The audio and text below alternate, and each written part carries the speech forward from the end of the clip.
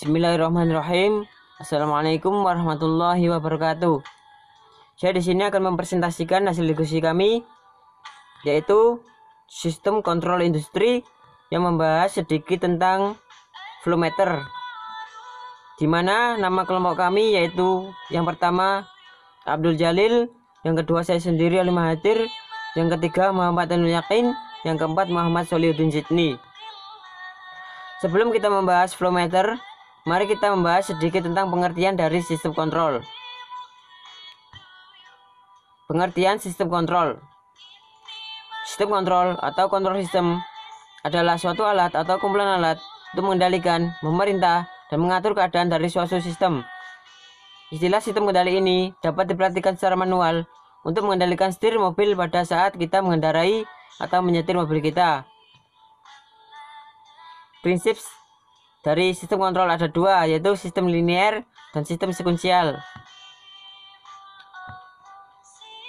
Definisi flow meter. Flow meter adalah alat ukur yang digunakan untuk mengukur laju aliran suatu fluida. Jumlah aliran fluida yang bergerak bisa mengalir dalam suatu pipa tertutup atau saluran terbuka seperti channel sungai atau parit. Flowmeter difungsikan sebagai alat kontrol yang bisa dimonitor dan dikontrol dari jarak jauh dengan menggunakan Android. Saat ini, flowmeter bukan sekedar alat instrumen untuk memonitor, tapi sekaligus digunakan sebagai alat untuk mencapai efisiensi yang selanjutnya akan dilanjutkan oleh teman saya Muhammad yang Yakin. Terima kasih. Assalamualaikum warahmatullahi wabarakatuh. Saya Muhammad Ainul Yakin dan saya di sini akan melanjutkan presentasi dari Mas Ali Mahathir. Oke, langsung saja. Fungsi flowmeter. Flowmeter berfungsi untuk mengetahui kecepatan aliran, velocity dengan satuan jarak per waktu kemudian berfungsi sebagai kontrol atau monitor dengan adanya output berupa analog output 4 sampai 20 mA pulsa, RS485, relay kontak dan lainnya. Kemudian berfungsi untuk mengetahui kapasitas aliran flow rate dalam pipa satuan unit pengukuran, LPS, LPM, LPH, meter kubik per horse, meter kubik per menit, GPM, GPH, dan lain-lain. Selanjutnya jenis dan spesifikasi flow meter. Fluida. Fluida terdiri dari lima macam. Yang pertama ialah water, oil, chemical, fuel, dan gas. Berikut ini adalah panduan dasar bagi engineer untuk menentukan model maupun tipe flow meter. Yang pertama ialah besar akurasi yang ingin dicapai. Kemudian max dan min working pressure bars. Kemudian satuan pengukuran GM, LPM, LPH, dan lain-lain. Kemudian sistem instalasi terdiri dari horizontal, vertikal, inline, insertion, dan clamp on. Kemudian lokasi instalasi yaitu integral compact atau remote split, indoor, outdoor, waterproof, implosion proof. Kemudian material flow meter terdiri dari CS, SUS, PVC, dan lain-lain. Bahan material terdapat linear atau tidak di sisi dalam pipa standar koneksi yaitu JIS, DIN, dan ANSI. Kemudian jenis aliran, bertekanan, gravity, dan open channel. Demikian presentasi dari saya. Selanjutnya akan disambung oleh Mas Solahuddin Jidni. Saya akhiri. Assalamualaikum warahmatullahi wabarakatuh. 6. Instalasi flow meter. Hal penting sebelum memasang flow meter adalah posisi dan jarak instalasi dari flow meter.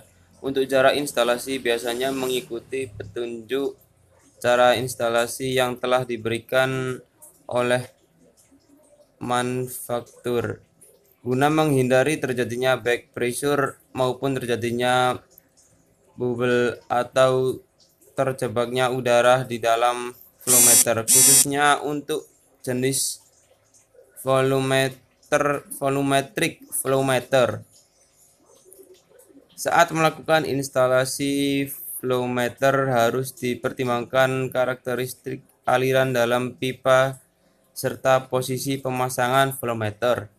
Tujuannya adalah diharapkan aliran air di dalam flow meter merupakan aliran laminar dan tidak ada back pressure maupun adanya aliran turbul Oleh sebab itu dibutuhkan jarak pemasangan yang memadai berdasarkan kondisi instalasi pipa yang dinamakan jarak upstream dan downstream.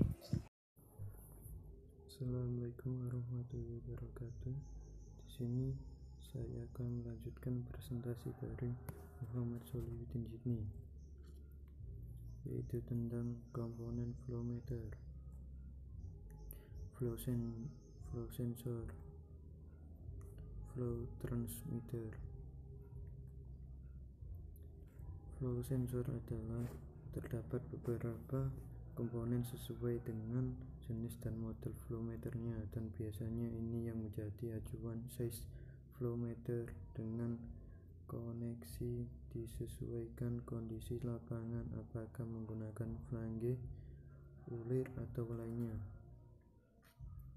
Mempunyai fungsi menerjemahkan signal dari sensor ke dalam hitungan kecepatan dan lainnya yang bisa ditampilkan berupa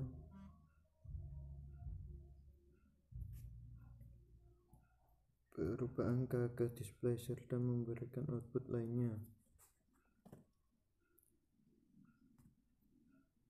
Input dan output untuk masalah power pada flow meter biasanya pada gauge atau pembacaan ada dua yaitu pembacaan dengan menggunakan mekanik mechanical register yang menggunakan jarum yang diteruskan ke sistem angka dan ada juga yang sistem pembacaannya secara digital.